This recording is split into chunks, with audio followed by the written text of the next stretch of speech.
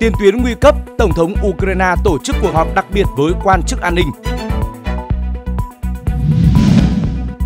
Nga triển khai chiến thuật ba vòng vây phong tỏa Ukraine, kìm hãm phương Tây. Mỹ tung hệ thống vũ khí đặc biệt có thể đóng cửa biển Baltic.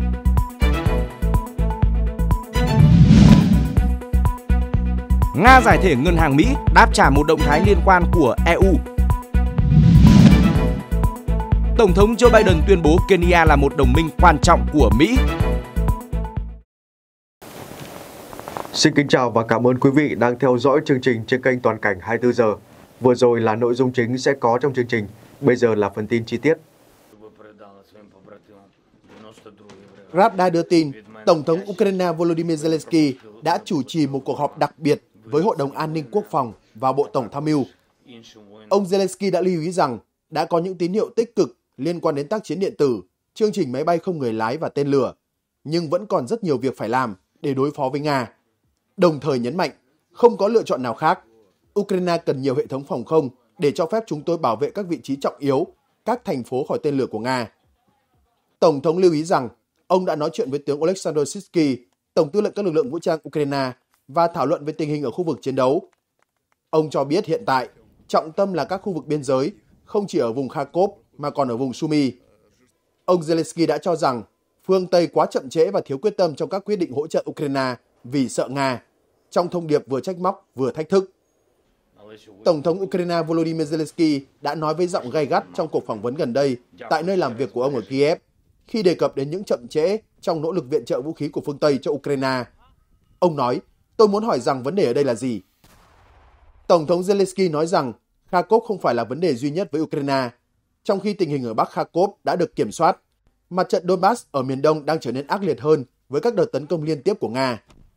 Lãnh đạo Ukraine nhanh chóng chỉ ra một trong những nguyên nhân đẩy họ vào tình thế khó khăn hiện nay. Vũ khí và đạn dược từ gói viện trợ mà Mỹ mới thông qua đang được chuyển tới Ukraine, song chúng đã bị trì hoãn suốt nhiều tháng vì bất đồng nội bộ ở Washington. Theo ông, mọi quyết định hỗ trợ Ukraine đều được đưa ra muộn khoảng một năm. Thực tế, đây là một bước tiến lớn sau hai bước lùi. Vì vậy, cần thay đổi mô hình một chút. Tổng thống Zelensky từ lâu luôn kêu gọi phương Tây viện trợ nhiều hơn cho Ukraine, đặc biệt là về vũ khí. Song lời cầu xin tuần này được đưa ra vào thời điểm mà các nhà phân tích đánh giá Kiev chưa từng phải đối mặt với thách thức quân sự nghiêm trọng như vậy kể từ đầu xung đột với Nga. Ngoài ra, ông cũng tỏ ra sôi nổi khi đề cập tới danh sách những việc mà đồng minh nên thực hiện để hỗ trợ Ukraine. Ông lập luận rằng NATO nên bắn hạ tên lửa Nga phóng vào Ukraine mà không cần triển khai máy bay trên không phận Kiev. Tổng thống Ukraine nhấn mạnh đây là chiến thuật phòng thủ thuần túy và không có nguy cơ khiến liên minh xung đột trực tiếp với lực lượng Nga. Khác với sự quan ngại của dư luận về thế trận răn đe hạt nhân giữa Nga và NATO đang có xu hướng gia tăng mất kiểm soát, các diễn biến trên thực địa đều để lộ những chỉ dấu cho thấy cả hai bên đều đang tuần tự tiến hành những bước đi vô cùng thận trọng, thậm chí có phần kiềm chế để không đẩy thế cân bằng hạt nhân trở nên quá bất lợi cho đối phương. Chỉ dấu đầu tiên cho thấy xu hướng tự kiềm chế này là động thái người phát ngôn Bộ Ngoại giao Nga Maria Zakharova đã khẳng định vụ thử nghiệm hạt nhân trước đó của Cơ quan An ninh Hạt nhân Quốc gia Mỹ NNSA ở bang Nevada không cấu thành sự vi phạm các quy định của Hiệp ước Cấm thử hạt nhân toàn diện CTBT hoặc lệnh cấm thử hạt nhân của Mỹ. Trong khi thực tế phía Mỹ vẫn chưa phê chuẩn CTBT và đây là vụ thử hạt nhân gần tới giới hạn, không tạo nên vụ nổ đầu tiên được Mỹ tiến hành kể từ tháng 9 năm 2021 nên đã gây quan ngại rất lớn với dư luận quốc tế. Phía Mỹ cũng có nhiều chỉ dấu cho thấy sự tự kiềm chế khi vừa chính thức cấp chứng nhận hạt nhân trước thời hạn cho máy bay F-35A được phép mang bom trọng lực nhiệt hạch B-61-12 và chỉ đúng phiên bản này vào tháng 3 năm nay. Quyết định này tạo nên mối đe dọa rất lớn với Nga khi tập đoàn Lockheed Martin ước tính đến năm 2030 sẽ có đến 550 chiếc F-35 hoạt động ở châu Âu. Vì vậy, sự thống trị của F-35 sẽ khiến năng lực chuyên chở bom nhiệt hạch B-61-12 từ châu Âu đến lãnh thổ Nga trở nên cực kỳ nguy hiểm. Tuy nhiên, trong một động thái gây bất ngờ, Bộ Quốc phòng Mỹ lúc này lại chuyển sang tập trung phát triển một loại bom hạt nhân mới là B-61-13 sau khi chỉ hoãn nhiều năm dự án sản xuất bom B-61-12 vì lý do bội trì ngân sách. Do đó, mặc dù có thông tin bom B-61-12 đã được Mỹ bắt đầu chuyển giao vào tháng 12 năm 2022, nhưng đến nay vẫn chưa rõ lịch trình giao B-6112 tới châu Âu. Mục tiêu của phía Nga hiện chỉ hướng đến kiện toàn vành đai hạt nhân chiến thuật, kết nối với các cơ sở lưu trữ hạt nhân mới ở biên giới phía nam đến Belarus và vùng Kaliningrad nhằm tạo thế cân bằng mới với các bước triển khai hạt nhân tuy dơ cao từ khối NATO nhưng lại đánh khẽ do Mỹ dẫn đầu. Cuộc diễn tập hạt nhân lần này còn góp phần vào siết chặt cả ba vòng vây quanh Ukraine mà Nga đang thúc đẩy một cách tổng lực. Trong đó, vòng vây tầm xa được miêu tả rất đầy đủ trong thông điệp mà Bộ Quốc phòng Nga công bố, bao gồm việc sử dụng hệ thống Iskander tầm bắn 500 km ở lực lượng tên lửa, trong khi lực lượng không quân sẽ trang bị tên lửa siêu thanh Kinza với các loại đầu đạn đặc biệt. Sự xuất hiện của tên lửa Kinza với tầm bắn hơn 2.000 km khiến cho ngay cả khẩu đội phòng không Patriot của Mỹ trong phạm vi 30 km cũng bị vô hiệu hóa. Phạm vi 30 km nói trên lại trùng hợp với các tính toán nhằm cố định vùng đệm mà quân đội Nga đang cố gắng mở rộng ở khu vực Kharkov ngay lúc này nhằm tạo vòng vây tầm gần cách biên giới Nga, Ukraine khoảng 10 đến 15 km. Và cuối cùng chính là vòng vây lõi khi Nga đang liên tục tiến hành các hoạt động công kích tính chính danh của chính quyền ông Volodymyr Zelensky vì cho rằng nhiệm kỳ của ông đã chấm dứt theo hiến pháp Ukraine. Viện Nghiên cứu Chiến tranh ISW đánh giá rằng các cuộc diễn tập vũ khí hạt nhân chiến thuật của Nga là một phần trong chiến dịch kiểm soát phản ứng của Điện Kremlin, thường sử dụng vũ khí hạt nhân để gây ảnh hưởng đến phương Tây nhằm thực hiện biện pháp gian đe. ISW cũng lưu ý rằng các chính sách của Mỹ và phương Tây hạn chế Ukraine sử dụng vũ khí của họ để tấn công các mục tiêu ở Nga. Do đó, làm suy yếu nghiêm trọng khả năng tự vệ của Kiev trước các hoạt động tấn công hiện tại của Moscow ở khu vực phía Bắc Kharkov hoặc ở bất kỳ khu vực nào dọc chiến tuyến. Hải quân Mỹ một lần nữa xuất hiện và tiến hành cuộc tập trận trên đảo Bornholm của Đan Mạch. Khoa mục luyện tập ở đây chính là đóng cửa biển Baltic trong điều kiện xảy ra xung đột. Vào tháng 9 năm 2023, Mỹ lần đầu tiên đưa hệ thống tên lửa di động trên mặt đất có dạng mô đun với mã định danh MK-70 hay còn gọi là MRC Typhoon tới đây. Tổ hợp này có khả năng phóng tên lửa hành trình Tomahawk và tên lửa đánh chặn Standard SM-3 cũng như SM-6. Với bước đi nói trên của mình, giới chức quân sự Mỹ và NATO nói chung đang cố gắng cho Nga thấy rằng họ có đủ khả năng phong tỏa vùng biển Baltic và khu vực Kaliningrad. Trong cuộc tập trận mới đây, quân đội Mỹ lại tiếp tục triển khai một cặp bệ phóng MK-70. Họ sử dụng máy bay vận tải hạng nặng Boeing C-17 Global Master 3 để đưa vũ khí này tới địa điểm diễn tập. Moscow cáo buộc cuộc tập trận diễn ra trên đảo Bornholm nhằm cố tình tạo ra căng thẳng không cần thiết ở vùng Baltic và Đan Mạch đang dùng lãnh thổ của mình như một bàn đạp chống lại Nga. Sở dĩ Nga lo ngại bởi vũ khí chính của tổ hợp Typhoon là tên lửa hành trình Tomahawk, tùy thuộc vào thiết kế và bản sửa đổi, có thể tấn công những mục tiêu cố định cách xa tới 1.500 km. Do vậy, Typhoon tương ứng với danh mục hệ thống tên lửa tầm trung. Ngoài ra, phạm vi vũ khí của hệ thống còn có tên lửa phòng không SM-3, SM-6 và tên lửa chống ngầm RUM-139 VL Arrow. Trong tương lai, Typhoon dự kiến còn được trang bị tên lửa siêu thanh LRHW đang trong quá trình phát triển. Bước đi trên của Mỹ được xem là hành động thiết thực nhất kể từ khi nước này rút khỏi hiệp ước các lực lượng hạt nhân tầm trung, hiệp ước INF. Đồng thời, hệ thống vũ khí trên cũng là bước phát triển xa hơn so với những hệ thống Aegis Azor. Mới đây, bệ phóng MRCT Phone còn bắn thành công cả tên lửa đánh chặn PAC-3 MSE, vốn là vũ khí độc quyền dành cho hệ thống phòng không Patriot, mang lại hướng đi mới cho tổ hợp vũ khí này. Trước đó, vào tháng 3, khi khối hiệp ước Bắc Đại Tây Dương NATO chính thức kết nạp Thụy Điển trở thành thành viên thứ 32 của Liên minh quân sự NATO, được xem là một động thái khép vòng kịch bản NATO kiểm soát toàn bộ biển Baltic, giờ đây còn được gọi là Hồ NATO. Vành đai phòng thủ này đã mở rộng các hoạt động tăng cường sự hiện diện quân sự của NATO thuộc sườn phía đông châu Âu, kết nối đến khu vực sườn phía bắc qua các tuyến đường sắt Ofoten, Na Uy và tuyến Iron Ore Thụy Điển thông qua các hoạt động tập trận tăng cường liên khu vực. Thêm vào đó, Thụy Điển còn là quốc gia sở hữu mạng lưới vận tải thuộc hành lang Potnia, có vai trò xương sống trong chiến lược tăng cường các kết nối từ châu Âu đến cánh Bắc Cực của NATO.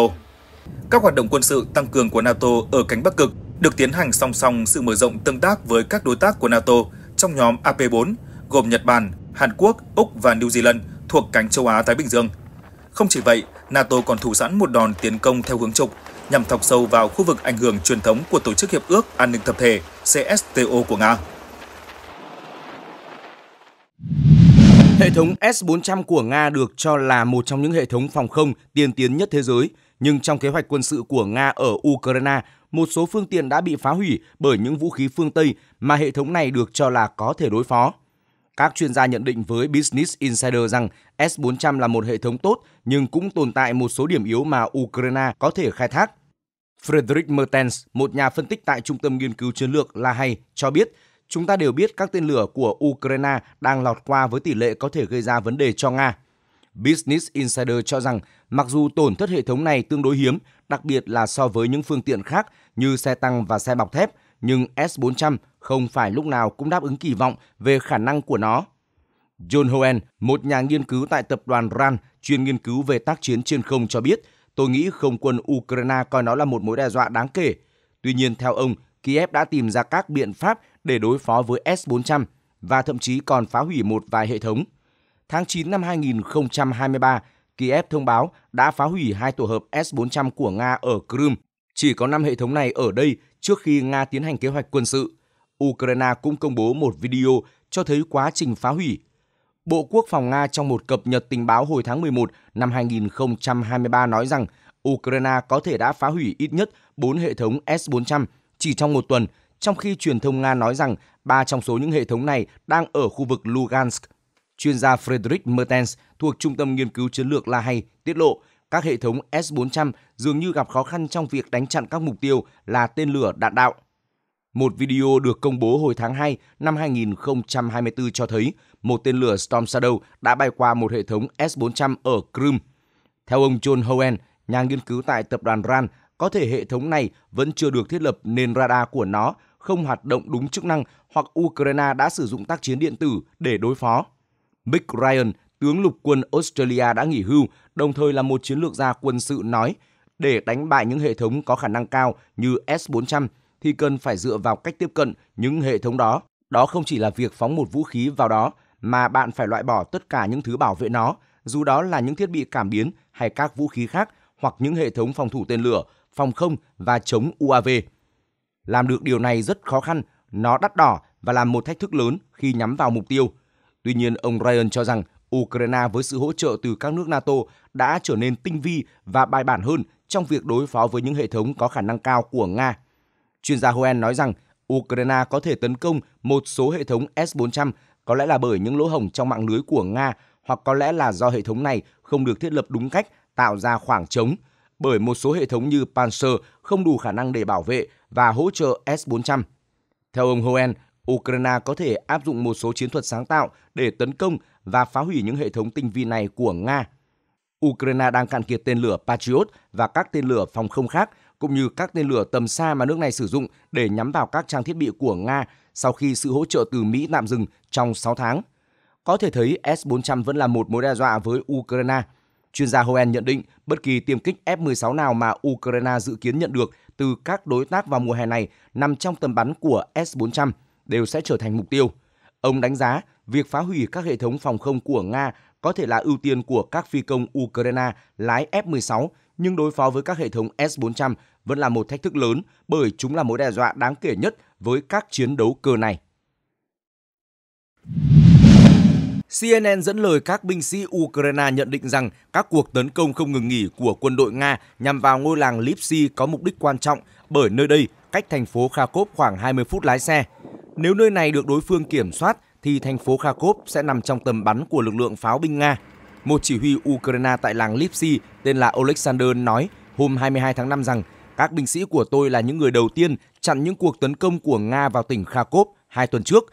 Chúng tôi đang chiến đấu với những binh sĩ chuyên nghiệp được huấn luyện bài bản.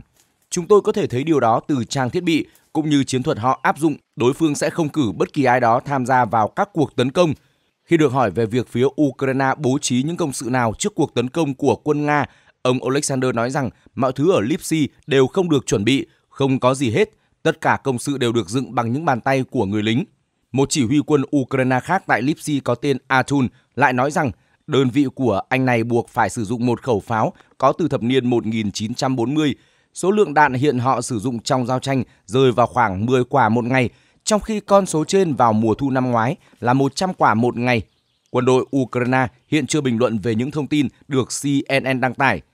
Trong diễn biến có liên quan, trả lời phỏng vấn AF, Tổng thống Ukraine Volodymyr Zelensky thừa nhận Nga đang chiếm ưu thế trong cuộc xung đột hiện nay. Nhà lãnh đạo Ukraine cho biết, tôi tin rằng ngày nay chúng ta có khoảng 25% những gì chúng ta cần để bảo vệ Ukraine. Tôi đang nói về phòng không.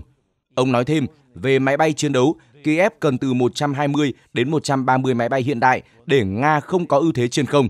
Tổng cộng chúng tôi cần phi đội F-16 với số lượng mà tôi đang nói đến để có sự ngang bằng với Nga. Trả lời câu hỏi về vấn đề này, phát ngôn viên không quân Ukraine Ilina Jeblas cho biết Ukraine cần tiếp tục nâng cấp số lượng máy bay hiện có với nhu cầu rơi vào khoảng 150 máy bay các loại bao gồm cả vận tải cơ để thay thế những máy bay lạc hậu. Các chiến đấu cơ rất cần thiết cho vô số nhiệm vụ bao gồm tuần tra không phận Ukraine, vô hiệu hóa các mục tiêu nhỏ. Ukraine đặt mục tiêu cho việc hoàn tất tái vũ trang cho các chiến cơ hiện có, nhưng quá trình này lại phụ thuộc vào các đối tác quốc tế. Nga nói giành quyền kiểm soát Klitschivka, một trong số những ngôi làng trên mặt trận phía đông mà Ukraine từng đoạt lại từ tay Nga sau chiến dịch phản công năm ngoái. Theo AFP, Klitschivka nằm ngay ở phía nam thành phố, giờ đây bị tàn phá là Bakhmut. Ngôi làng có khoảng 500 người trước khi Nga phát động kế hoạch quân sự ở Ukraine. Ukraine chưa bình luận về tuyên bố của quân đội Nga. Tuy nhiên, Tổng thống Ukraine Volodymyr Zelensky đã cảnh báo tình hình tiền tuyến đang vô cùng khó khăn. Phía quân đội Ukraine cũng cho biết đã đẩy lùi áp lực tấn công của Nga gần làng và tình hình được kiểm soát. Thông tin về làng Klitschivka được Nga công bố trong lúc giới chức Ukraine cho hay lực lượng Moscow dội pháo về hướng thành phố Kharkov. Tỉnh trưởng Kharkov Oleksiy Hobov cho biết nhiều dân thường bị thương trong đợt tấn công của Nga. Về phần mình, Nga nói Ukraine triển khai các đợt tấn công nguy hiểm về hướng khu vực sát biên giới hai nước là Belgorod của Nga và thành phố Lysychansk thuộc Lugansk, Ukraine hiện do Nga kiểm soát. Trong khi đó, truyền thông Nga đưa tin bom phóng từ trên không FAB-3000 tích hợp mô đun hiệu chỉnh và phổ quát UMPC có thể sẽ được đưa vào sử dụng trong vài tuần tới. Tài khoản Telegram Fighter Bomber của một phi công tiêm kích Nga cho biết, quá trình phát triển mô đun cánh trượt có điều khiển UMPC FAB-3000 đang ở giai đoạn cuối. Nguồn tin tiết lộ, ở giai đoạn đầu, vũ khí mới sẽ tiến hành phóng thử ở các bãi thử nghiệm. Sau khi hoàn thành các cuộc thử nghiệm, bom FAB-3000 sẽ được phóng trong điều kiện thực chiến. Cường kích ném bom Su-34 sẽ mang theo bom FAB-3000. Tuy nhiên, máy bay ném bom chiến lược Tu-22M cũng có thể được Nga sử dụng để triển khai loại vũ khí này. Nếu thông tin trên được xác nhận, thì việc sử dụng mô đun có điều chỉnh trên các loại bom cỡ lớn như FAB-3000 sẽ làm tăng độ chính xác, khả năng bắn trúng mục tiêu và đem lại sức công phá lớn. FAB-3000 là một trong những vũ khí lợi hại nhất dành cho các máy bay ném bom chiến lược của lực lượng hàng không vũ trụ Nga. Nga đã nâng cấp các loại bom hàng không hạng nặng thời Liên Xô, trang bị cho chúng các mô đun lập kế hoạch và hiệu chỉnh, từ đó tạo ra một giải pháp thay thế tương đối rẻ tiền cho tên lửa dẫn đường. Viện Nghiên cứu Chiến lược Quốc tế IISS cho biết, Nga đang sử dụng bom lượn cùng với các loại bom tấn công trực tiếp với số lượng lớn để áp đảo lực lượng phòng không Ukraine.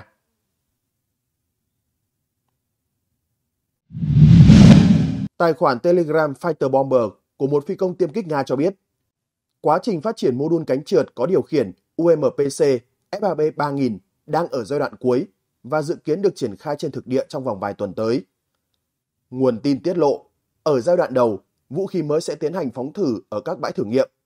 Sau khi hoàn thành các cuộc thử nghiệm, bom FAB-3000 sẽ được phóng trong điều kiện thực chiến. Cường kích ném bom Su-34 sẽ mang theo bom FAB-3000. Tuy nhiên, máy bay ném bom chiến lược Tu-22M cũng có thể được Nga sử dụng để triển khai loại vũ khí này. Nếu thông tin trên được xác nhận, thì việc sử dụng mô đun có điều khiển trên các loại bom cỡ lớn như FAB-3000 sẽ làm tăng độ chính xác, khả năng bắn trúng mục tiêu và đem lại sức công phá lớn. FAB-3000 là một trong những vũ khí lợi hại nhất dành cho các máy bay ném bom chiến lược của lực lượng hàng không vũ trụ Nga. Nga đã nâng cấp các loại bom hàng không hạng nặng thời Liên Xô, trang bị cho chúng các mô đun lập kế hoạch và hiệu chỉnh, từ đó tạo ra một giải pháp thay thế tương đối rẻ tiền cho tên lửa dẫn đường. Viện Nghiên cứu Chiến lược Quốc tế IISS cho biết, Nga đang sử dụng bom lượn cùng với các loại bom tấn công trực tiếp với số lượng lớn để áp đảo lực lượng phòng không Ukraine. Trong một diễn biến khác, Bộ Quốc phòng Nga thông báo cánh quân Nam đã kiểm soát hoàn toàn làng Belogorovka ở tỉnh Lugansk, mục tiêu mà Ukraine tái kiểm soát trong chiến dịch phản công chớp nhoáng hồi tháng 9 năm 2022. Kiev chưa bình luận trực tiếp về thông tin, song cùng ngày nói giao tranh vẫn đang diễn ra xung quanh khu vực này. trang Avia Pro của Nga đã đăng video cuộc tập kích của pháo binh vào Belogorovka trước khi lực lượng nước này chiếm được ngôi làng. Video cho thấy quân đội Nga khai hỏa hàng trăm quả đạn vào các vị trí của binh sĩ Ukraine chỉ trong vòng vài phút, gây ra hàng loạt vụ nổ lớn liên tiếp, làm rực sáng cả khu vực. Chiến dịch tấn công Belogorovka bắt đầu bằng một đợt oanh tạc quy mô lớn, gây thiệt hại nặng nề cho cơ sở hạ tầng và các cứ điểm phòng thủ của đối phương. Các đòn tập kích bằng không quân và pháo binh đóng vai trò quyết định, tạo điều kiện để lực lượng Nga nhanh chóng tiến lên và chiếm các vị trí then chốt trong làng. Avia Pro viết thêm rằng quân đội Ukraine đã phải rút lui do hứng chịu tổn thất lớn. Các tài khoản mạng xã hội ủng hộ Ukraine nhận định lực lượng Nga đã sử dụng pháo phản lực phóng loạt BM-21 Grad và pháo nhiệt áp TOS-1A để giải thảm hỏa lực. Vào làng Belogorovka, cảnh tượng trong video được đánh giá không khác gì địa ngục. Ruslan Lanchas, chuyên gia thuộc Viện Nghiên cứu Hội đồng Đại Tây Dương có trụ sở ở Mỹ cho rằng lực lượng Nga đang áp dụng chiến thuật tiêu thổ, phá hủy tất cả mọi thứ mà đối phương có thể sử dụng để duy trì sức kháng cự.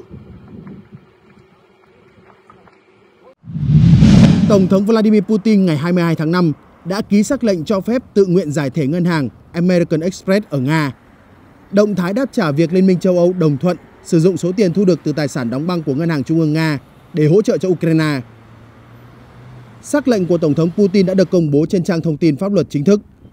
Văn bản có đoạn, cho phép công ty trách nhiệm hữu hạn American Express Bank thực hiện các hoạt động giải thể tự nguyện theo quy trình được luật pháp của Liên bang Nga quy định.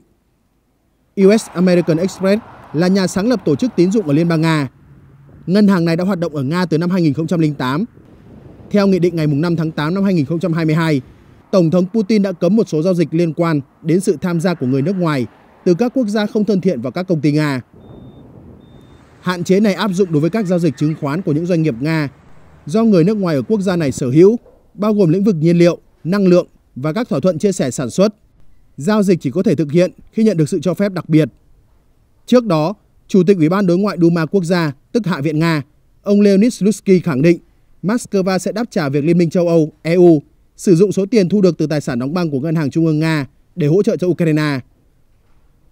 Đợt rút lợi nhuận đầu tiên từ tài sản của Nga bị đóng băng ở EU sẽ diễn ra vào tháng 7 và trong tương lai sẽ được tiến hành hai lần mỗi năm. EU phải trải qua quá trình tranh luận kéo dài trước khi đạt được thỏa thuận giữa các quốc gia thành viên về cho phép sử dụng các khoản lợi nhuận thu được từ tài sản bị phong tỏa của Nga để hỗ trợ Ukraine. Một số quốc gia tỏ ra lo ngại trước việc sử dụng số tiền thu được cho mục đích quân sự. Slovakia và Hungary bày tỏ dè dặt trước khả năng cung cấp viện trợ quân sự cho Kiev, trong khi Cộng hòa Séc ủng hộ việc sử dụng số tiền thu được từ tài sản của Nga bị phong tỏa ở châu Âu để hỗ trợ và tái thiết Ukraine. Tuy nhiên, trong nhiệm kỳ Vương quốc Bỉ giữ cương vị chủ tịch luân phiên, EU đã thông qua được đề xuất mang tính thỏa hiệp trong vấn đề này. Theo kế hoạch của EU, lợi nhuận hàng năm của các tài sản này dự kiến từ 2,5 đến 3 tỷ euro và 90% số tiền thu về sẽ được sử dụng để mua vũ khí cho Kiev thông qua cơ chế hòa bình châu Âu EPF. 10% còn lại sẽ được chuyển vào ngân sách EU và được sử dụng cho mục đích tái thiết Ukraine. Mỹ và các đồng minh đã đóng băng khoảng 300 tỷ đô la Mỹ tài sản của Ngân hàng Trung ương Nga như một phần của các lệnh trừng phạt việc Moscow mở kế hoạch quân sự ở Ukraine. Hầu hết số tài sản đó đang được nắm giữ ở EU. Moscow đã nhiều lần cảnh báo phương Tây về những hậu quả nghiêm trọng nếu các nước này sử dụng tài sản của Nga. Giáo sư lịch sử chuyên về Đông Âu và Liên Xô tại Đại học Yale, nước Mỹ, Timothy Snyder vừa so sánh xung đột Nga-Ukraine trong 3 năm qua với thời kỳ ngay trước Thế chiến thứ hai. Ông cảnh báo về nguy cơ Thế chiến thứ ba cận kề hiện nay. Ông nói, chúng ta hiện đang ở giai đoạn năm 1938. Ông cho rằng Ukraine của năm 2024 giống như tiệp khắc của năm 1938. Trong khi đó, Kiev thường xuyên cảnh báo phương Tây rằng nếu Ukraine thất bại trước các lực lượng Nga thì các nước châu Âu sẽ kế tiếp trên danh sách tấn công của Nga. Ngay sau khi Nga phát động kế hoạch quân sự tại Ukraine vào tháng 2 năm 2022, Tổng thống Ukraine Zelensky nói rằng nếu Ukraine không trụ vững thì châu Âu cũng sẽ không trụ vững được.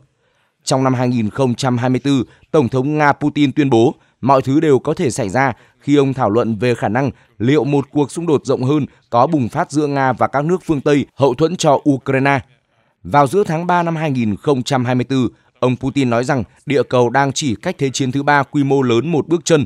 Trong buổi họp báo lần đó, Tổng thống Putin cho biết thêm, tôi nghĩ chẳng ai mong muốn kịch bản này.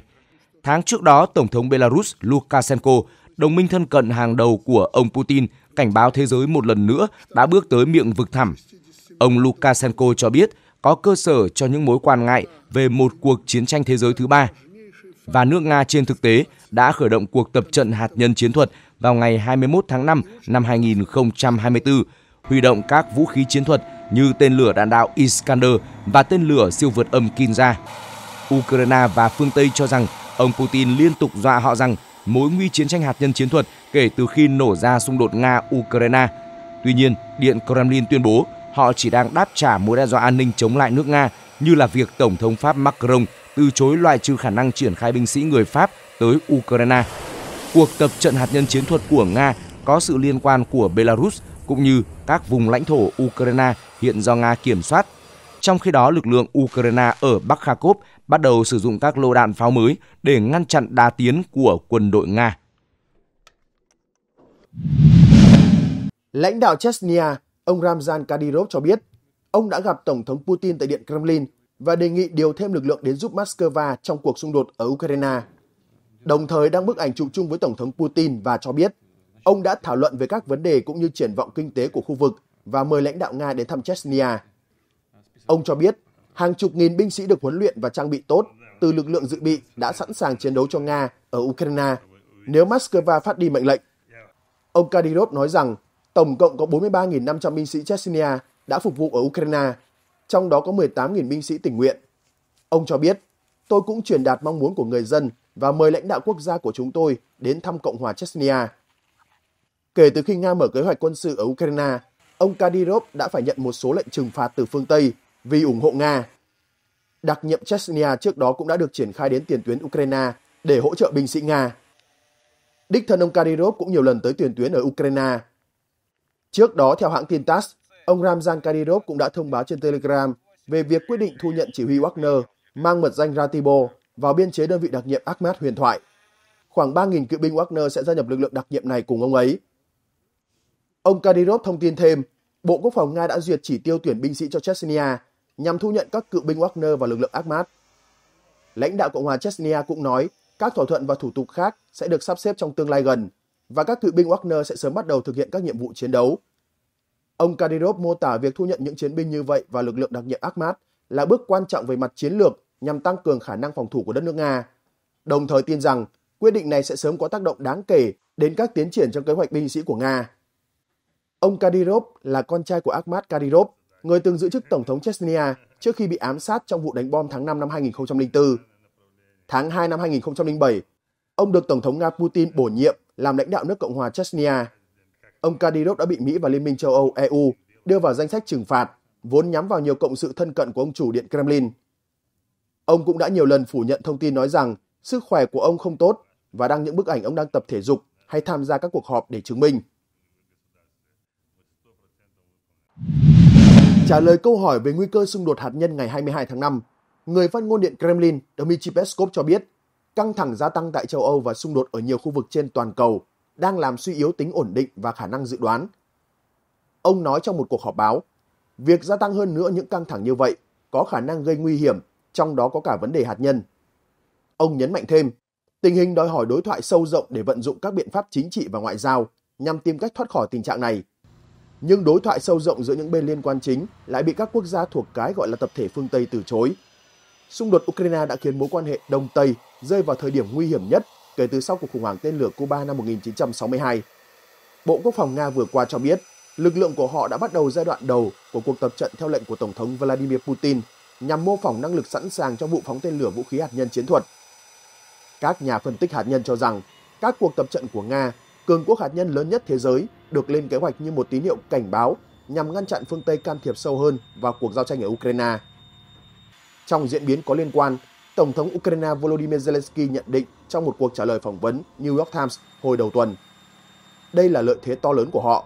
Việc sử dụng bom hàng ngày, sử dụng hệ thống S-300 là lợi thế lớn của họ. Nga đã tích lũy được khoảng 10.000 tên lửa S-300. Ông cũng lưu ý rằng trên thế giới có những loại vũ khí có khả năng đối phó các cuộc tấn công của Nga nhưng Ukraine không có đủ chúng. Ông Zelensky giải thích về tình thế của Ukraine hiện nay. Có loại vũ khí nào trên thế giới để chống lại các cuộc tấn công của Nga hay không? Có. Có loại vũ khí nào tốt hơn những gì Nga có trong kho vũ khí không? Có. Ukraine có cả hai yếu tố này nhưng có đủ số lượng và được cấp phép nhằm vào lãnh thổ Nga không? Không. Cũng theo ông, Mỹ và các đồng minh nên bắn hạ tên lửa Nga, cung cấp thêm vũ khí cho Ukraine, cũng như cho phép Kiev sử dụng những vũ khí này để tấn công trực tiếp vào lãnh thổ Nga. Nhà lãnh đạo nhấn mạnh, các nước NATO nên bắn hạ tên lửa Nga xuất hiện trên bầu trời Ukraine. Thậm chí, ông Zelensky còn viện dẫn hành động Mỹ và Anh đã giúp Israel đánh chặn hàng loạt máy bay không người lái UAV và tên lửa được Iran dùng để tấn công Israel vào giữa tháng 4. Song Mỹ và Liên minh châu Âu EU đều cho rằng hai tình huống này là hoàn toàn khác nhau. Nhà lãnh đạo Ukraine cũng mong muốn có thêm các hệ thống phòng không Patriot. Ông còn đặt câu hỏi liệu Kiev có thể nhận được 7 hệ thống này trước khi hội nghị thượng đỉnh NATO ở Washington diễn ra hay không.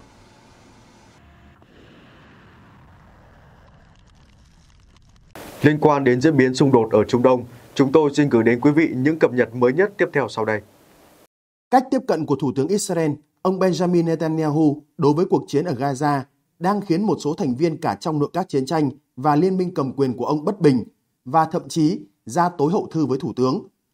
Theo giới quan sát, diễn biến đáng chú ý này có thể tác động lớn tới vai trò lãnh đạo của ông Netanyahu cũng như cuộc chiến của Israel ở Gaza. Theo tờ The Times of Israel, ông Benny Gantz, một trong ba lãnh đạo nội các chiến tranh Israel và lãnh đạo đảng đối lập Israel, đảng xanh và trắng, chính là người đã ra tối hậu thư cho ông Netanyahu. Theo đó, ông Gantz kêu gọi chính phủ Israel lập kế hoạch 6 điểm về các mục tiêu chiến lược tại giải Gaza. Cảnh báo sẽ rời nội các nếu kế hoạch này không thành hình trước ngày 8 tháng 6. Ông Gantz còn nhận định rằng cuộc chiến tại Gaza trong những tháng gần đây đang đi chệch hướng vì sự hèn nhát của một số nhà lãnh đạo Israel. Bên cạnh đó, ông Netanyahu cũng đang vấp phải quan điểm cứng rắn từ hai bộ trưởng trong nội các của ông lãnh đạo về cuộc xung đột của Israel ở Gaza. Họ là Bộ trưởng An ninh Quốc gia Itamar Ben-Gvir và Bộ trưởng Tài chính Bezalel Smotrich. Ông Netanyahu cho rằng các thành viên nội các có quan điểm đối lập đang chơi trò chơi chính trị trong thời kỳ xung đột nhằm tìm cách kích hoạt các cuộc bầu cử. Tuy nhiên, ông khẳng định bản thân chỉ tập trung vào việc giành được chiến thắng toàn diện trước Hamas và giải cứu các con tin. Hiện nay, ông Netanyahu dường như đang bị cô lập trong nội các chiến tranh có quy mô nhỏ hơn mà chính ông lập ra, nơi chỉ có ông, ông Gantz và Bộ trưởng Quốc phòng Yoav Galan có quyền bỏ phiếu. Trước đó, ông Galan đã yêu cầu làm rõ kế hoạch hậu chiến, cũng như kêu gọi ông Netanyahu đồng ý từ bỏ ý định triển khai quân đội tái chiếm đóng Gaza. Ông Gantz nói trong một cuộc họp báo, những toan tính mang tính cá nhân và chính trị đã bắt đầu xâm nhập vào thánh địa thiêng liêng của an ninh quốc gia Israel. Một nhóm thiểu số đã chiếm buồng lái của con tàu Israel và đang lái nó về phía bãi đá. Trong khi đó, văn phòng Thủ tướng Israel đã bác bỏ lời đe dọa trên của ông Benny Gantz khi nhấn mạnh tối hậu thư của ông sẽ gây hại cho đất nước. Theo đài CNN, tuyên bố của văn phòng này nhấn mạnh các điều kiện của ông Gantz phát đi thông điệp rõ ràng là chấm dứt xung đột và Israel chịu thất bại, bỏ rơi hầu hết con tin, không thể xóa sổ Hamas và dẫn đến việc thành lập một nhà nước Palestine. Song điều này sẽ gây áp lực mới lên ông Netanyahu, có thể làm gia tăng thêm căng thẳng với Mỹ và dấy lên những câu hỏi mới về việc một chính phủ như vậy có thể tồn tại được bao lâu.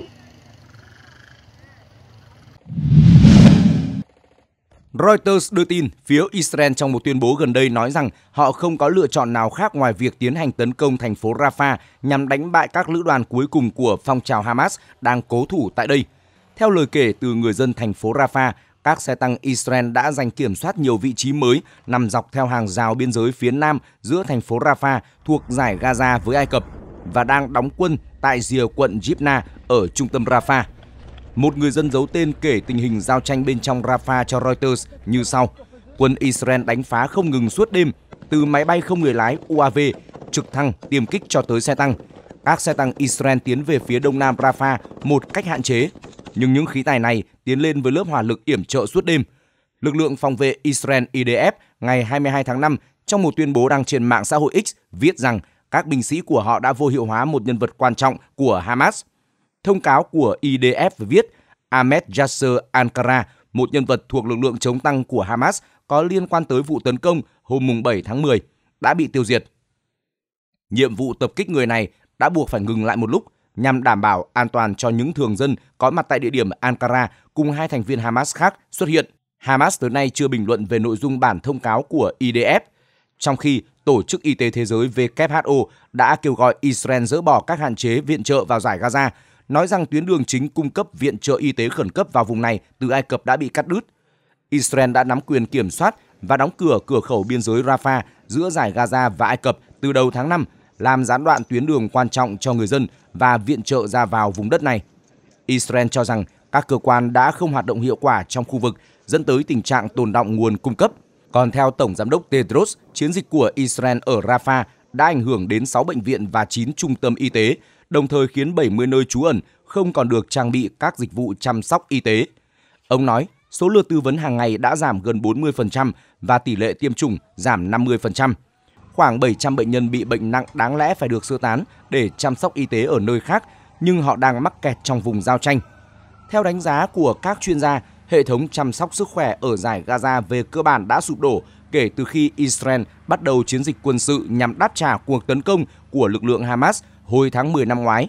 Ông Tedros cho biết thêm rằng bệnh viện Al-Auda ở phía bắc của giải Gaza vẫn bị bao vây kể từ ngày 20 tháng 5 với 148 nhân viên và 22 bệnh nhân cùng những người đi cùng họ đang bị mắc kẹt bên trong. Ông nói giao tranh gần bệnh viện Kamal Adwan cũng ở phía bắc của giải Gaza cũng gây nguy hiểm cho khả năng chăm sóc bệnh nhân của bệnh viện. Đây là hai bệnh viện chức năng duy nhất còn lại ở bắc của giải Gaza. Theo hãng thông tấn CNN, dẫn ba nguồn tin cho biết, nội dung dự thảo thỏa thuận ngừng bắn mà Hamas tuyên bố chấp thuận không giống những điều khoản trong tài liệu mà Mỹ và Qatar đã trao cho nhóm vũ trang xem xét.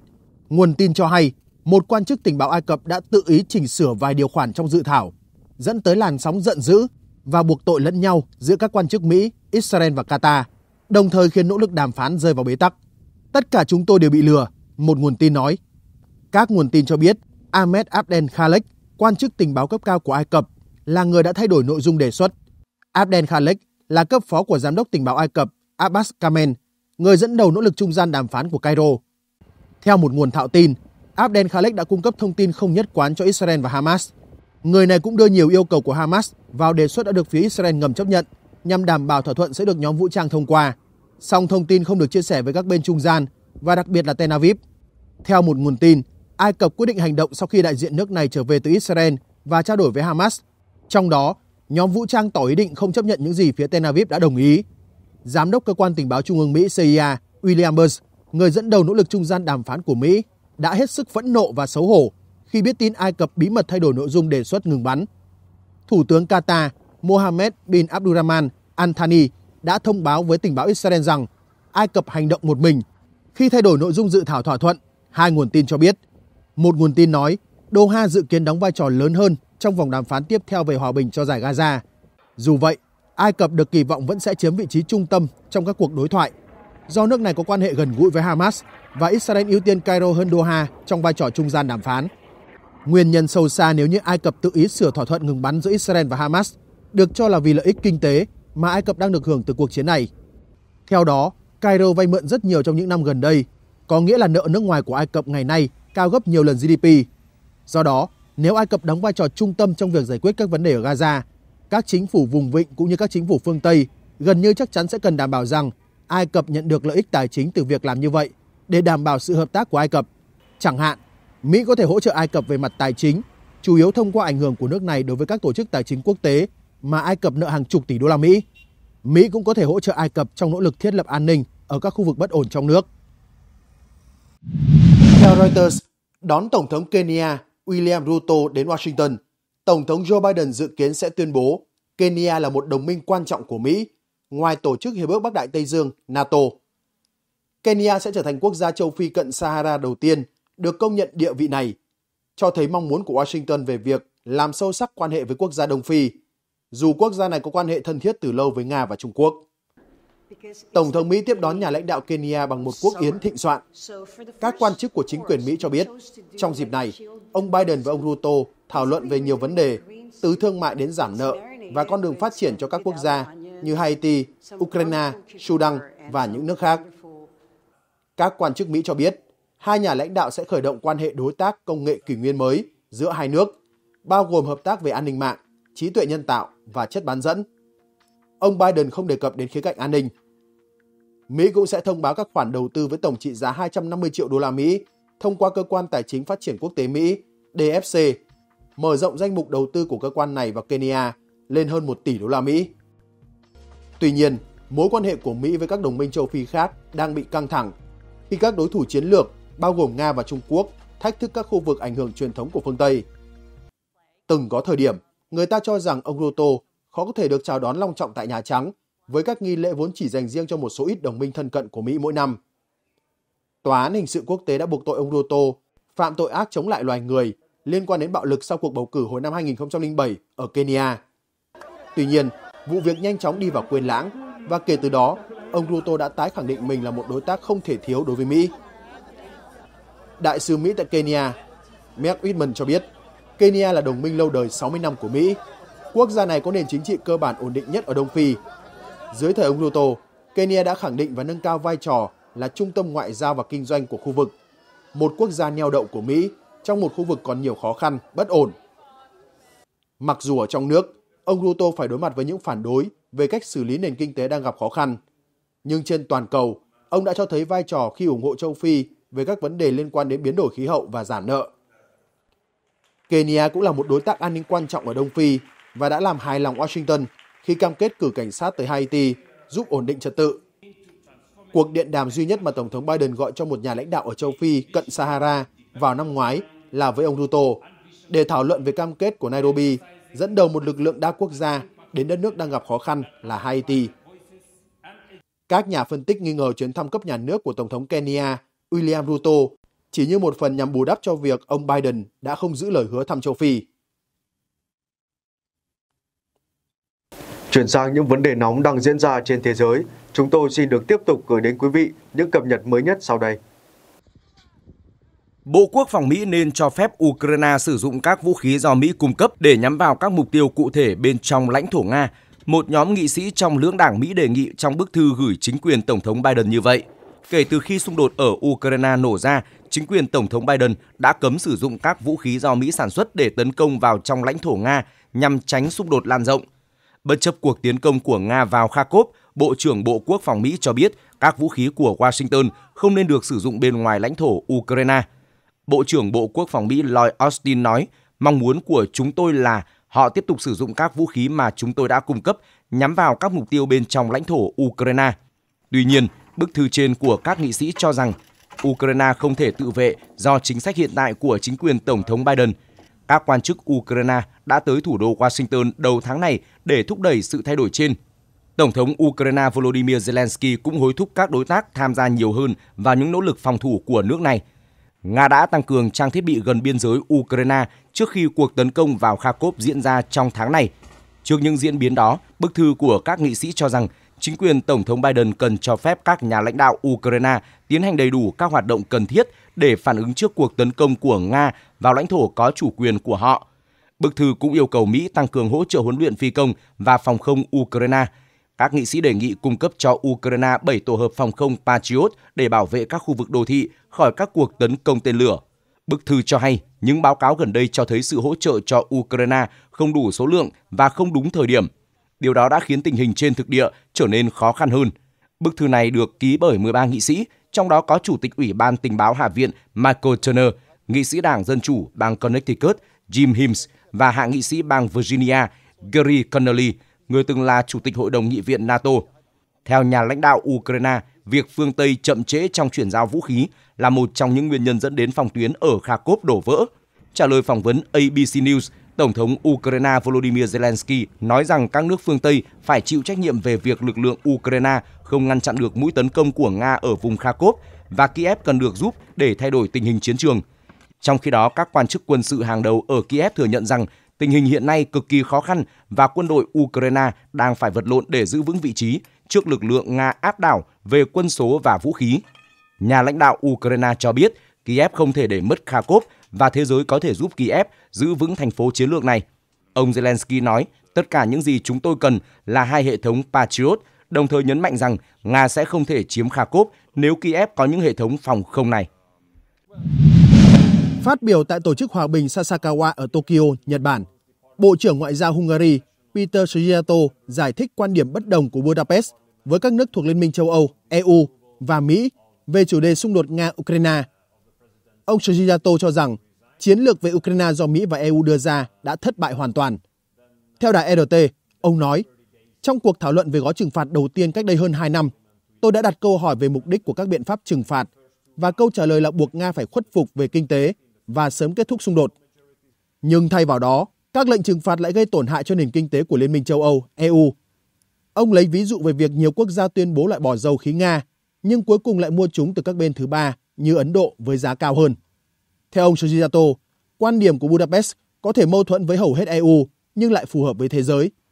Nhà ngoại giao Hungary phản đối những tuyên bố điên rồ của các chính trị gia hàng đầu EU về việc gửi lực lượng NATO tới Ukraine khi cho rằng những cuộc thảo luận như vậy ngày càng nguy hiểm và làm tăng nguy cơ xảy ra xung đột trực tiếp giữa NATO và Nga. Ông Sujisato tuyên bố quân đội Hungary sẽ không tham gia vào việc này. Không một đồng euro nào của những người nộp thuế Hungary được phân bổ cho việc đó. Được biết, thái độ của Hungary đối với hai vấn đề liên quan tới Ukraine, bao gồm viện trợ và tư cách thành viên EU, xuất phát từ mâu thuẫn giữa Hungary và EU. Là thành viên EU, nhưng mối quan hệ giữa Hungary và EU đã suy yếu hơn 10 năm qua. Đa số cho rằng mối quan hệ này tệ đi từ lúc Thủ tướng Orbán nắm quyền năm 2010. Trên truyền thông, ông Orbán thường bị mô tả bằng những từ như dân túy, cực hữu hoặc độc tài, vốn không được ủng hộ rộng rãi trong chính trị dòng chính tại châu Âu. Vị lãnh đạo Hungary cũng không ít lần khẩu chiến với các nước trong khối vì khác biệt trong cách tiếp cận ở nhiều vấn đề. Không lâu sau khi ông Orbán tái đắc cử với tỷ lệ áp đảo năm 2022, EU mở cuộc điều tra vào đợt bầu cử nước này. Đây là cột mốc dẫn tới những thủ tục tước bỏ nguồn tài trợ cho Hungary với lo ngại về tiêu chuẩn dân chủ. Vài tháng trước đợt bầu cử ấy, Hungary ra một luật gây tranh cãi về việc cấm cổ vũ, quảng bá đồng tính hoặc chuyển giới cho trẻ vị thành niên. Luật này đã khiến các nhà hoạt động nổi giận và các chính trị gia châu Âu xem đây như một màn tấn công nhằm vào sự công nhận và quyền lợi của cộng đồng LGBTQ+. LGBTQ+, đại diện cho rất nhiều vấn đề diễn tả sự khác biệt giữa Hungary và phần còn lại ở châu Âu, xung quanh nhân quyền và pháp quyền. Từ truyền thông cho tới các bài báo khoa học, Hungary bị gọi bằng cái tên nền dân chủ zombie, tức sự dân chủ chỉ tồn tại một cách hình thức. Tháng 9 năm 2022, Nghị viện châu Âu tuyên bố Hungary không còn là nền dân chủ đầy đủ và rằng EU cần phải hành động. Tháng 4 năm 2023, 15 trên 27 thành viên EU đã có hành động pháp lý chống lại Hungary vì những lo ngại quanh các điều luật mà họ cho là chống LGBTQ+. Thưa quý vị, xung đột Nga-Ukraine và những biến động của chính trường thế giới đang ngày càng trở nên phức tạp và căng thẳng nhiều hơn. Mặc dù cả hai bên đều nêu ra điều kiện hòa bình, nhưng đều rất khó khả thi. Trong bản tin hôm nay, mời quý vị đến ngay với phần cập nhật diễn biến nóng xoay quanh cuộc xung đột giữa Nga và Ukraine. Theo hãng tin Reuters, các lực lượng phòng thủ Ukraine đã gặp khó khăn suốt nhiều tháng qua do tình trạng thiếu đạn pháo và nhiều loại vũ khí khác giữa lúc Quốc hội Mỹ chưa phê chuẩn gói viện trợ quân sự bổ sung trị giá 61 tỷ đô la Mỹ. Tận dụng tình hình, các lực lượng Nga đã tạo được lợi thế trên tiền tuyến và đẩy mạnh tấn công về mặt trận phía đông. Sau khi Quốc hội Mỹ thông qua gói viện trợ vào tháng 4, các binh sĩ Ukraine cho biết tình trạng thiếu hụt đạn dược trầm trọng bắt đầu giảm bớt. Nhóm lính Ukraine hoạt động ở các quận phía Bắc vùng Kharkov cho biết, giao tranh hiện tại còn dữ dội hơn nhiều so với nhiệm vụ họ từng đảm nhận ở Bakhmut, thị trấn ở miền đông Ukraine, mà Nga giành quyền kiểm soát vào năm 2023 sau nhiều tháng giao tranh. Một binh sĩ cho biết, trước đây chúng tôi hoạt động ở khu vực Bakhmut, nhưng giờ được chuyển đến đây. Ở đây nóng hơn nhiều. Chúng tôi từng không có đạn pháo, nhưng ít nhất hiện tại chúng tôi đã có đạn pháo. Đạn pháo đã bắt đầu được bàn giao. Chúng tôi có đạn pháo để chiến đấu. Hồi đầu tháng này, các lực lượng Nga đã đẩy mạnh tấn công sau khi mở chiến dịch nhằm vào khu vực phía đông bắc Ukraine. Moscow tuyên bố đã giành được quyền kiểm soát khoảng chục ngôi làng. Trong đó, thị trấn Vovchansk nằm cách biên giới Nga 5 km hiện là tâm điểm trong kế hoạch tấn công của quân đội Nga. Ukraine khẳng định vẫn đang kiểm soát khoảng 60% thị trấn và tiếp tục chiến đấu để chống lại đà tấn công của Nga. Ông Vitali, chỉ huy đơn vị pháo binh của lữ đoàn tấn công riêng biệt số 92, tự tin rằng đạn pháo sẽ tiếp tục được chuyển tới do mọi người đều hiểu được tầm quan trọng của việc giữ vững phòng tuyến. Ông Vitali nhấn mạnh, đúng, chúng tôi sẽ được cung cấp đạn dược vì chúng tôi đang chống lại đối phương hùng mạnh. Nếu bây giờ chúng tôi chứng minh được có thể ngăn chặn được cuộc tấn công quy mô lớn của đối phương vào thành phố Kharkov và vùng Kharkov, đối phương sẽ không dám nghĩ đến việc tấn công khu vực Kiev, Chernihiv, Sumy hay Poltava. Tổng thống Ukraine Volodymyr Zelensky ngày 21 tháng 5 tuyên bố quân đội nước này tại Kharkov đang hạ đối phương và đạt kết quả đáng kể. Tuy nhiên, ông thừa nhận tình hình trên mặt trận miền Đông gần các thành phố Pokrovsk, Kramatorsk và Kurakhovo vẫn cực kỳ khó khăn. Hầu hết các trận đánh đang diễn ra ở nơi này. Ngoại trưởng Ukraine Dmytro Kuleba cùng ngày khẳng định các đồng minh phương Tây có thể hạ tên lửa Nga tập kích Ukraine từ lãnh thổ của họ.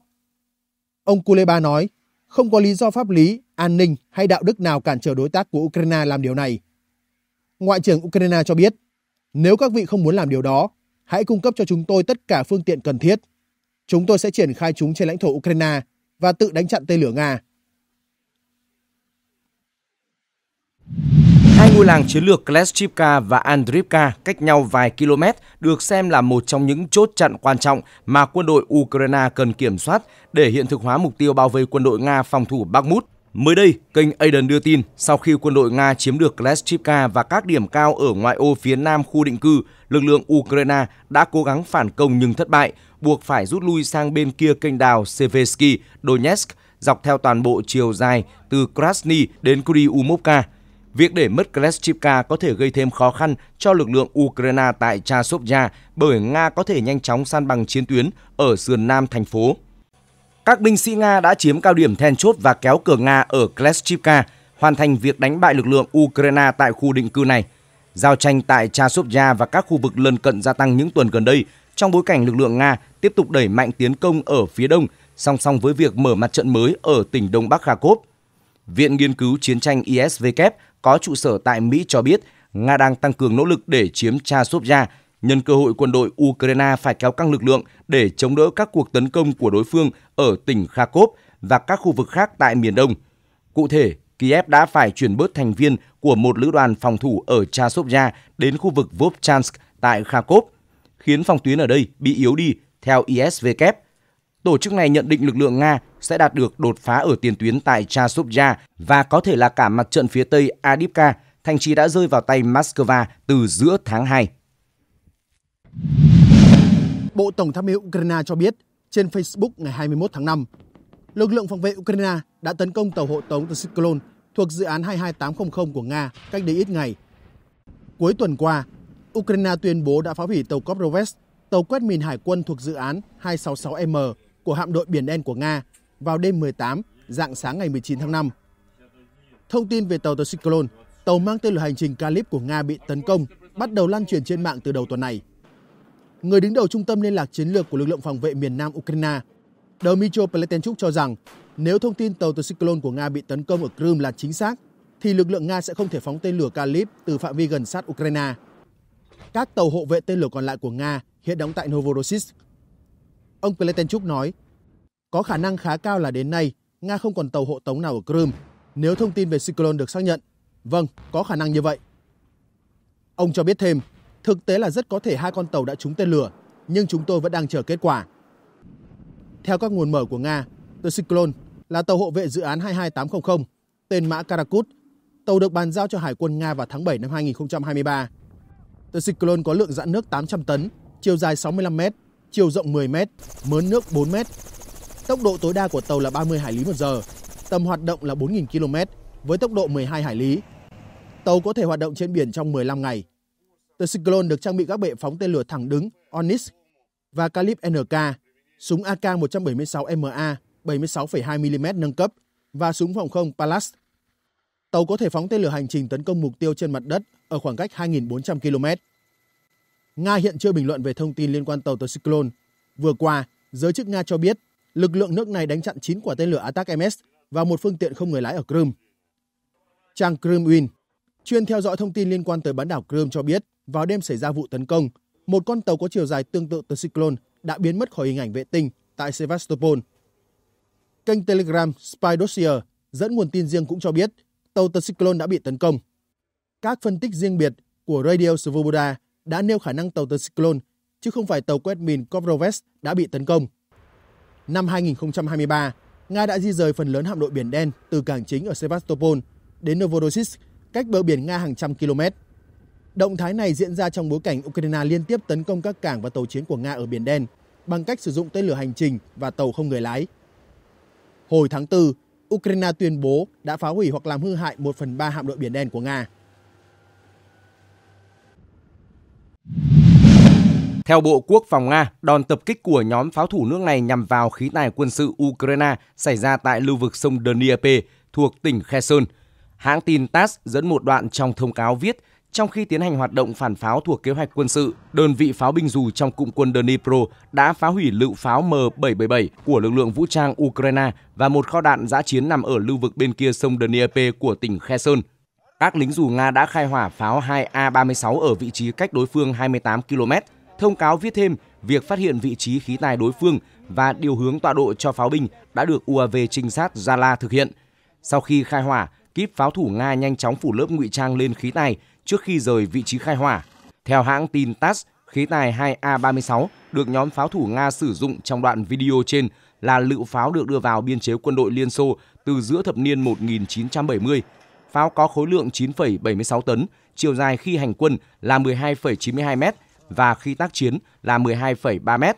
Khả năng nâng góc nòng của 2A36 nằm trong khoảng từ âm 2 đến 57 độ và kíp chiến đấu có 8 binh sĩ. Tầm bắn tối đa của 2A36 có thể lên tới 40 km. Hồi năm ngoái, theo tờ Newsweek, cơ quan an ninh Ukraine SBU từng tự hào nói rằng một tay súng bắn tỉa làm việc cho tổ chức này đã bắn hạ một binh sĩ Nga ở cách xa 3,8 km.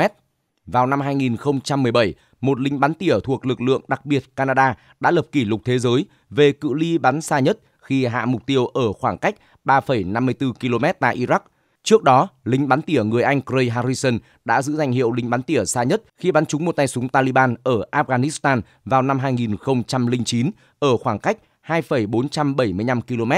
Văn phòng báo chí của SBU nhấn mạnh lính bắn tỉa SBU đã lập kỷ lục thế giới. Tay súng đã bắn trúng một binh sĩ Nga ở khoảng cách đáng kinh ngạc. Các lính bắn tỉa SBU đang thay đổi quy tắc bắn tỉa của thế giới, thể hiện khả năng hoạt động hiệu quả ở khoảng cách cực xa. SBU nhấn mạnh phát súng này đã phá kỷ lục thế giới trước đó khi bắn xa hơn khoảng 260 mét.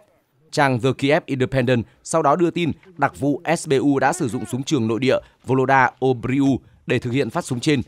SBU công bố một video cho rằng các hình ảnh cho thấy mục tiêu gục xuống trong khi những người gần đó hoảng sợ. Ngoài video do Ukraine công bố, chưa có thêm bằng chứng xác nhận tuyên bố của SBU. Súng trường Voloda Obriu tạm dịch là chúa tể chân trời do công ty vũ khí Ukraine Majak phát triển và sản xuất. Loại súng này được thiết kế cho hoạt động phá hoại và chống phá hoại để tiêu diệt các xạ thủ bắn tỉa, súng máy cỡ nòng lớn, các tổ hợp tên lửa chống tăng và xe bọc thép nhẹ. Súng có thể nhanh chóng thay nòng để sử dụng các cơ đạn khác nhau, giúp tăng đáng kể năng lực chiến đấu. Sau nhiều tháng chịu sức ép ngoại giao, Tổng thống Ukraine Volodymyr Zelensky cuối cùng đã đảm bảo việc sẽ nhận được các chiến đấu cơ F-16 từ các đối tác NATO như Đan Mạch, Hà Lan và Bỉ. Từ đầu tháng 4 năm 2024, Mỹ và đồng minh đã huấn luyện cho các phi công Ukraine vận hành các tiêm kích F-16, dự kiến sẽ được vận chuyển trong những tuần tới.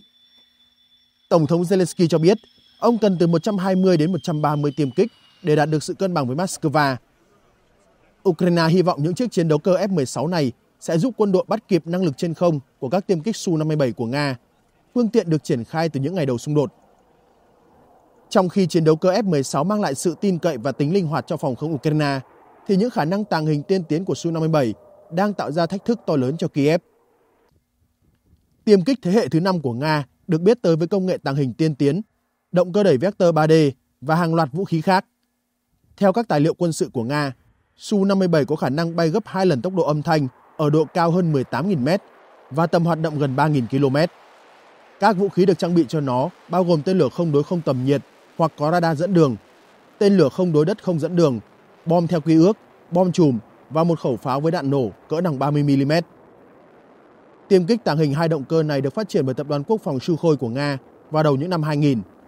Trong suốt giai đoạn chiến tranh lạnh, Liên Xô xác định cần tiêm kích thế hệ tiếp theo để kế nhiệm các phi đội Su-27 và MiG-29 trong các hoạt động chiến thuật. Tuy nhiên, Su-57 đối mặt với những chỉ hoãn trong quá trình sản xuất và vấn đề hoạt động, đặc biệt với động cơ và các đặc điểm tàng hình của nó.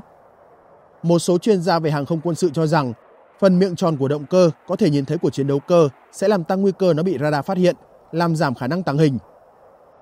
Bất chấp những hạn chế trên, Su-57 có một số lợi thế hơn tiêm kích F-16. Đối với tiêm kích F-16 có nhiều thành tích trong chiến đấu, được biết đến với tính linh hoạt và khả năng cơ động. Nó là phương tiện chủ lực của nhiều lực lượng không quân kể từ cuối những năm 1970. Tính linh động của F-16 kết hợp với một loạt cải tiến trong những năm qua, trong đó có các hệ thống điện tử, vũ khí và radar tiên tiến, đã biến nó trở thành một chiến đấu cơ mạnh mẽ, đáp ứng các nhu cầu trong tác chiến hiện đại trên không. Tiêm kích F-16 có thể bay với tốc độ Mach 2 và hoạt động ở độ cao lên tới hơn 15.000 mét, thấp hơn một chút so với Su-57. Các chiến đấu cơ của Mỹ cũng bao gồm các hệ thống radar được nâng cấp như AN, APG-66, có thể theo dấu mục tiêu cả trên không và trên mặt đất trong phạm vi hơn 96 km. Chúng có thể mang các loạt vũ khí lớn hơn và đa dạng hơn so với các tiêm kích MiG-29 và Su-57, trong đó có tên lửa, bom và các vũ khí chống radar.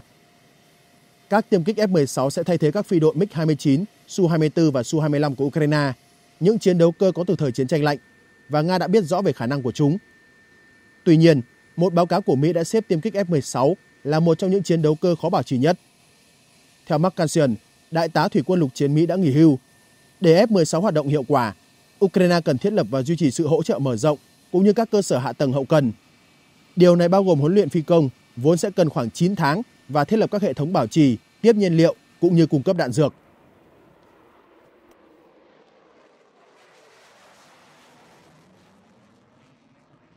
Nội dung vừa rồi đã khép lại chương trình trên kênh Toàn cảnh 24 giờ ngày hôm nay.